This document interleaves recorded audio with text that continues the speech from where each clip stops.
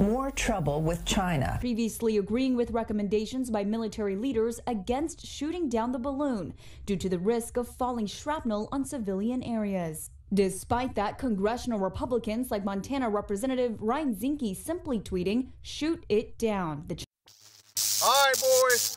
That Chinese weather balloon's coming through Alabama, and since our government's not going to take care of it, we're going to have to do it ourselves.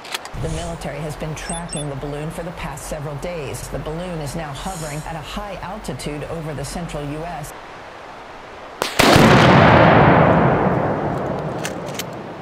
There we go.